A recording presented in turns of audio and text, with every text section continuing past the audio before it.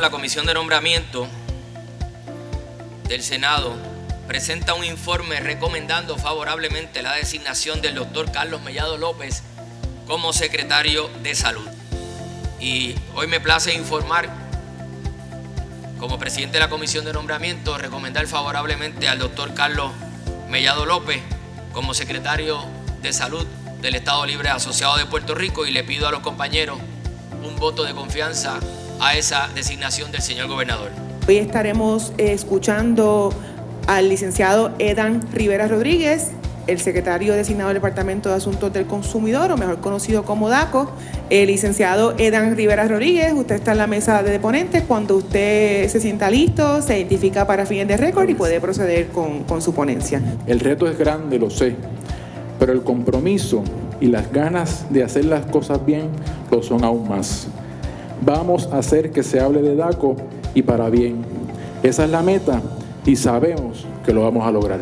Comienzan los trabajos de esta vista pública conjunta de la Comisión de Bienestar Social y Asuntos de la Vejez y la Comisión de Derechos Humanos y Asuntos Laborales del Senado del Estado Libre Asociado de Puerto Rico para atender los siguientes asuntos. La resolución del Senado 68 para ordenar a las comisiones de Bienestar Social y Asuntos de la Vejez, de Educación, Turismo y Cultura a conducir una investigación exhaustiva sobre el cumplimiento de las leyes. Para atender la resolución del Senado 76 que ordena a las comisiones de asuntos municipales y de vivienda y sobre cumplimiento y reestructuración realizar una investigación exhaustiva a los fines de determinar el estatus en que se encuentran las sobre 30.000 viviendas que quedaron sin techo como consecuencia del impacto del huracán María en septiembre de 2017. La Comisión de Innovación, Telecomunicaciones, Urbanismo e Infraestructura del Senado de Puerto Rico inicia, inicia su vista pública sobre la resolución conjunta del Senado número 32. Tenemos eh, otras vistas en, agenda porque queremos poder escuchar a todos los sectores, queremos que sepan que a nuestra comisión ha llegado muchísimas solicitudes de participación, de muchas recibiremos ¿verdad? Este, ponencias escritas, memoriales y otros ¿verdad? podrán eh, ser citados por cuestión de tiempo. Eh, en la medida en que podamos tener la oportunidad de llegar, de llegar a algunos recintos, también así lo haremos. La comisión de nombramiento recomienda favorablemente la designación de la ingeniera Eileen Vélez Vega para el cargo de secretaria del Departamento de Transportación y Obras Públicas.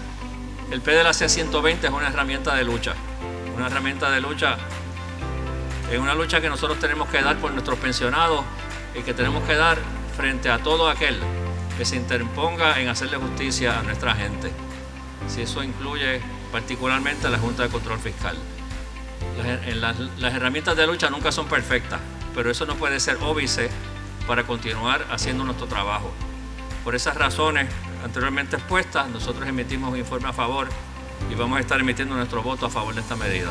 Sentir que el que está allí representándolos, así como la gente de mi distrito Mayagüez Aguadilla, sabe que aquí está su senadora hablando por los intereses de su distrito. Y yo creo que, que los estudiantes en este punto, ¿verdad? Lo que quieren es que formar parte y que sea vinculante y que se le tome en serio en su aportación. Yo creo que todos los que hemos estado en la Universidad de Puerto Rico este, hemos tenido que hacer algún tipo de reclamo. Lo que quiero es poder este, eh, dejar para récord, si usted como presidente comprende que este es el reclamo de la universidad y si nuestra ley, nueva ley o la ley actual enmendada propone este tipo de, de proyectos de participación vinculante de algunos grupos universitarios dentro de estos procesos, ¿usted estaría este, a favor del proyecto? Obviamente sí, la respuesta es podemos seguir mejorando la participación estudiantil y del claustro en todos esos procesos pero ha resultado de especial preocupación para la comunidad de educación especial la notificación de parte del departamento de políticas que pudieran estar modificando eh,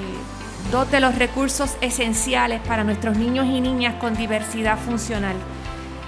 La disponibilidad de asistentes que se conocen como T1 y el mecanismo de remedio provisional, que es una de las grandes ganancias del pleito de clase de Rosalía Vélez.